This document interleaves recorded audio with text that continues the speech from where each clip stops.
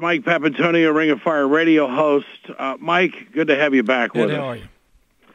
Well, uh, it, look, uh, I'm I'm bound and determined to have this discussion about disaster relief when we're right in the thick of it, because that's when you have the country's attention. hmm And it's it's not trying to throw any negativity on on on any one particular person as it is to I guess guide the policy of what I believe is right for Americans. And I and I hear frustration in people's voices right now. This this frantic rescue mission that's taking place today Mhm. in Oklahoma. We haven't accounted for everybody. There are still people missing. And yet you have lawmakers who are saying that uh, this help that's coming through FEMA has to be offset. Yeah. Yeah. Uh, It's it's gut wrenching to he- hear that. Uh, who are these people? Well, I mean, the the short list is, of course, uh, Inhofe and Coburn, but now more than ever, I mean, you, you see these southern states. Really, it is a southern state kind of problem. They need almost adult leadership in, in, in light of the ugly, I mean, the really chaotic trend of these natural disasters that have plagued the southern states these last few years. And instead, they're blessed with the Coburns and the Inhofes. I mean, uh, you know, you begin with this, Ed. You had 36 Republicans who voted against, and they delayed $50 billion worth of relief from Hurricane Sandy victims. Now, today, uh, we have Inhofe telling us that those people were frauds. Up the Sandy victims were frauds, and they didn't deserve the money, and that they do deserve it down in Oklahoma. 31 of those Republicans had supported relief only in their own states after they had voted against relief for all of the Sandy victims, and, and not just Sandy victims, other victims as well. About 30 of them are typical blueprint uh, Tea Party type Republicans. Ed, there's there's no way you can avoid this discussion. It's an important discussion.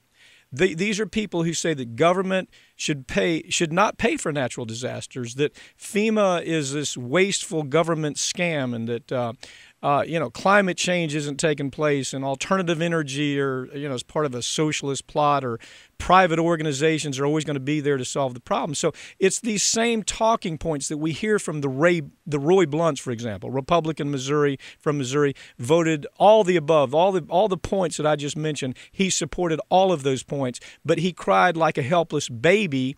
And uh, he, when he said he needed help from FEMA, big bad FEMA government, when his state was hit with a drought.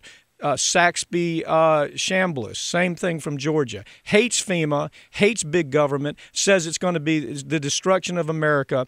And he said he was the guy that says churches are going to bail out disaster victims. Well, he begged like a distraught madman when flooding hit his state. So there, there's no surprises here. Understand? Uh, you have you had Inhofe that proposed removing grants from storm shelter programs, of FEMA storm shelter programs. He, he proposed removing the grants and instead providing individuals with tax breaks, as if that somehow that was going to solve the kind of problem that he's faced with in Oklahoma. I mean, it, it, you see, the, the problem is there is no nobody ever ties these things up. So not to talk about it is a huge mistake. You had Coburn who offered an amendment that was going to take $7 billion away from FEMA funding because he said, uh, Coburn said, to fund FEMA is unconscionable. Those are his words. And today he's out there he, and he understands these people are suffering. They need our help. They need all of America's help. But the problem they have is they have these boneheads that are their leadership. And it's not just there. It is all over the South. It's like, uh, you know, you. Uh, I wasn't just. I talked about Saxby Chambliss. You've got uh, Bob uh, Corker from Tennessee. Same kind of character. Same kind of talking points. We always always hear from John Cornyn. Now this is really interesting. John Cornyn's one of those guys. Hates FEMA. Hates disaster relief. And he's he's he's one of these characters that is always talking about how bad it is until wildfires gobbled up his state or Lindsey Graham from South Carolina, always in the relief line and always talking about how FEMA is disaster, how churches and individuals are come, going to come rescue these people, that we don't need big government to do it. They're always the first in line with their hand out. And the, the sad thing is that these, these people down there are desperate for help, and they're not going Yeah. to get it from that kind of leadership. Well, I I have to point out uh, this is what divides the country. Not the conversation, the actions of the lawmakers.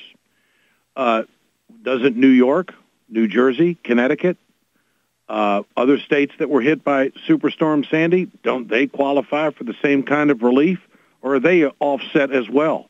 I, you know, and then Coburn says, well, this vote is it isn't it's totally different because there was pork in the Sandy relief package, and to this day, uh, there's people that haven't gotten any help. It's been what five six months. Yeah. Uh, we're losing track. The bottom line here is that you're going to tell me that Coburn has never voted for something specifically and had other pork into the bill, that he's been a purist his entire time in the Senate? Give me a break. Well, it's worse than that. You have Inhofe calling the people in the Sandy, uh, the Sandy victims, frauds. That, that we couldn't give them money because uh, they they were going to squander the money. So I mean, look, there's a new, it's a new America right now. There were almost 2,000 tornadoes reported in the U.S. in 2011, uh, and and and here's the problem, Ed: 25 billion dollars in damages in just Alabama, Mississippi, and Missouri and Oklahoma alone. All from deadly tornadoes. 550 fatalities in the U.S. from the from tornadoes worldwide Worldwide, there was only 577, but there were 553 fatalities in the U.S., not just from tor- tornadoes, but from droughts and all, all different types of uh, natural You think disaster. it's connected to global warming? I mean, well, everybody, I mean, everybody does. Uh, Ed, everybody who is ra- a rational thinker understands that yes, there's a connection.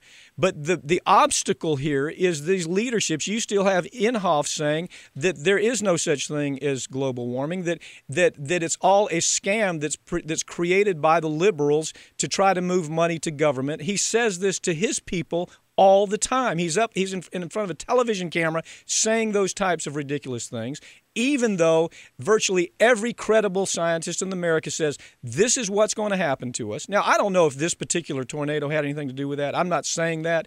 But if you look at the trend of what's happening, if you simply look at the empirical data to have these Republicans, these 36 Republicans who voted against and delayed $50 billion worth of relief from Hurricane Sandy victims because they said, we're not at the place in this country where we need that type of natural disaster relief. That's the talking point to me. It is these yeah. people are saying we don't need that type of government during a time when the storm systems, the hurricanes, the tornadoes, the droughts, the fires are getting worse and have been worse in, in the history of this country. So they need leadership in the South. They're not going to get it because ultimately they keep going to those same shallow wells uh, with these oddball, inept leaders who con- who consistently uh, vote for flat Earth Republican ideas.